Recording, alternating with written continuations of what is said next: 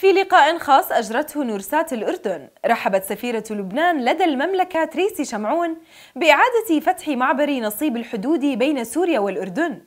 وقالت إن فتح الحدود هو إنجاز هام بحد ذاته ويصب لمصلحة لبنان كما الأردن.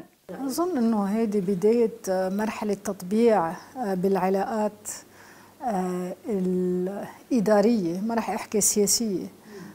بس العلاقات الشعبية والسياسية والاقتصادية بين هالبلاد الثلاثة لبنان وسوريا والأردن. ونحن بحاجة اليوم أنه نرجع نفتح كل هالفرص يلي تسكرت على عدة سنين وكمان دفعنا ثمنها بالوضع الاقتصادي يلي عم نعاني منه اليوم. يعني غلية العيش والأسعار طلعت وكل هالأشياء يلي اليوم عم نعيشها بصعوبة بسبب هالحصار الجغرافي رح تتسهل كثير وأكدت شمعون أن لبنان عانى الكثير جراء إقفال معبر نصيب.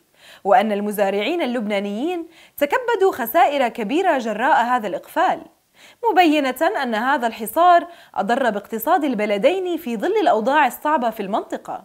صراحة الحصار الجغرافي آه، سبب علينا ضغط كتير اقتصادي ضغط كبير اقتصادي. آه، بالأخص للمزارعين اللبنانيين يلي هن بيتكلوا كتير على طريق البر ليوصلوا البضاعة اللبنانية آه، بوقت سريع للأردن وللخليج لأنه المعبر هو مفتاح أو باب للخليج وللشرق. وحول السياحة وأثر هذا القرار على تنشيطها بين البلدين. ركزت السفيرة شمعون على ضرورة تنشيط السياحة الدينية لما لها من أثر إيجابي وداعم للعلاقات الثنائية والاستقرار في المنطقة. في موضوع أنا بهمني كثير اللي هي هو موضوع السياحة الدينية. آه، نحن بنشتلق لما بنعيش هون بالأردن بالأخص إنه عايشين على الأراضي المقدسة. آه، فبالزمان ما كان في حدود بين بعضنا.